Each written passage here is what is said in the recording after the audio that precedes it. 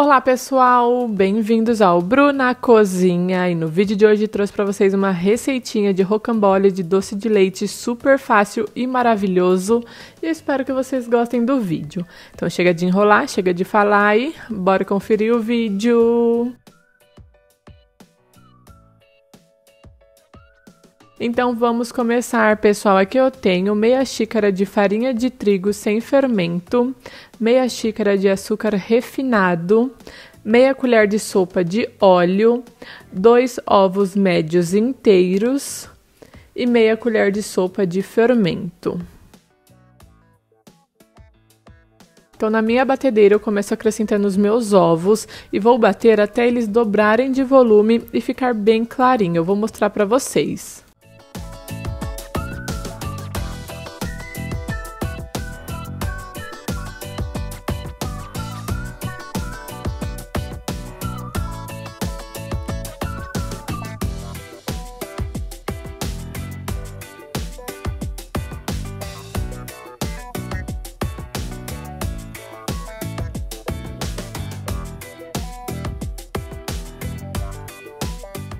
Então aqui os meus ovos já dobraram de volume, já tá bem clarinho. Então agora eu começo a acrescentar o meu açúcar refinado. Com a batedeira em velocidade mínima, eu vou colocando o açúcar aos poucos até finalizar ele.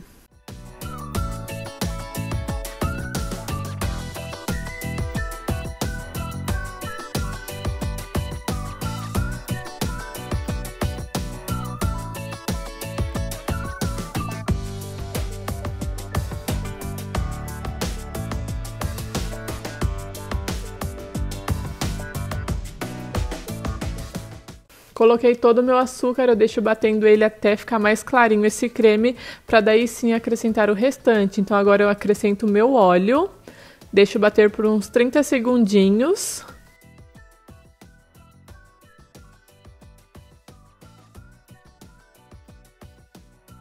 Vou acrescentar também a minha farinha de trigo na batedeira, tá bom, pessoal? Então vou colocando ela aos poucos até finalizar.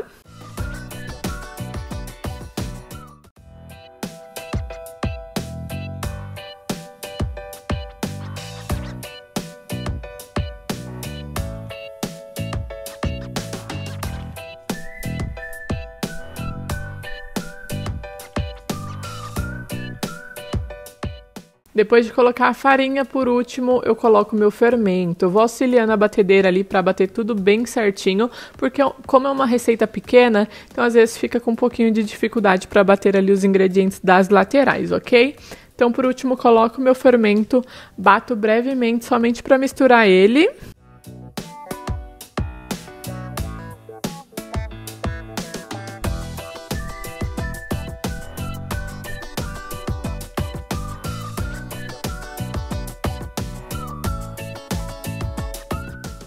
Meu forno tá pré-aquecendo 180 graus. Eu liguei ele ali uns 3 minutinhos antes de levar a massa no forno, tá bom, pessoal?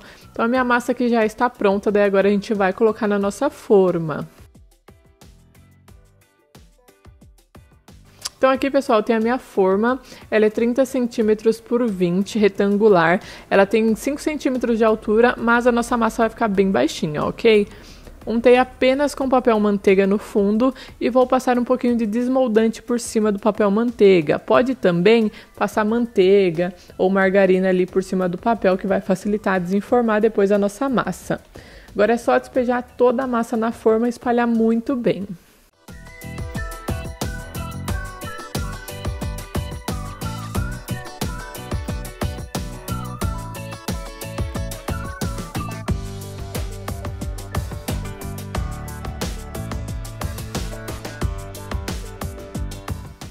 Espalhou toda a massa, é só levar no forno. No meu forno levou 30 minutinhos para assar essa massa. Começou a ficar douradinha, as bordinhas já está pronta. Se precisar, faz o teste do palito que nem eu fiz. E se sair sequinho o palito, você já pode retirar a sua massa, tá bom? Deixa esfriar somente um pouquinho, tá? Não pode deixar esfriar completamente. Daí aqui eu tenho um papel manteiga grande e vou colocar um pouquinho de açúcar nele. Vou peneirar para não ficar as pelotinhas ali do açúcar.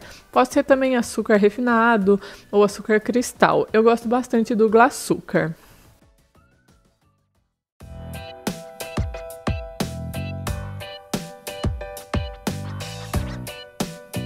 Daí agora eu pego a minha massa, ela tá levemente morna, é importante que ela esteja morna, tá bom? Vou virar ela, tirar o meu papel manteiga do fundo, como eu passei desmoldante, o papel manteiga solta super fácil. E vou colocar o meu doce de leite. Aqui eu tenho 100 gramas de doce de leite. É uma quantidade legal, porém, se você quiser colocar um pouquinho a mais, pode pôr também. Mas essa quantidade deixa um resultado bem legal no nosso rocambole. Se o seu doce de leite estiver um pouquinho duro, é só você aquecer ele um pouquinho no micro-ondas para facilitar espalhar, tá bom? Então espalhou todo o doce de leite, daí agora eu vou começar a enrolar ele. O comecinho dele é bem chatinho para enrolar, mas depois que ele dá uma voltinha, aí fica mais tranquilo, tá bom? E você vai enrolar ele pressionando ele, fazendo uma forcinha ali para ele ficar bem certinho e bem redondinho.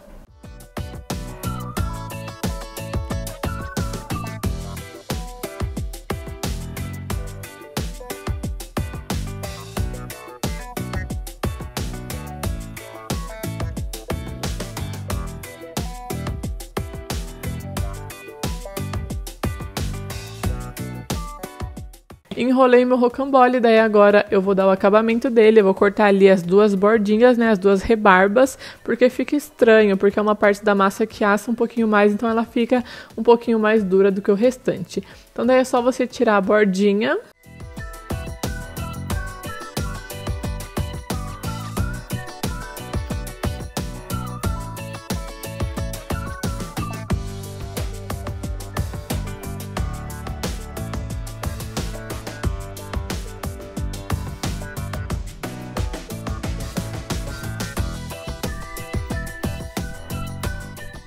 E olha como ele ficou aqui por dentro, pessoal. Como eu falei, se você quiser colocar um pouquinho a mais de doce de leite, fica a critério de vocês. Eu utilizei leite condensado cozido na panela de pressão, mas você pode utilizar o doce de leite da sua preferência.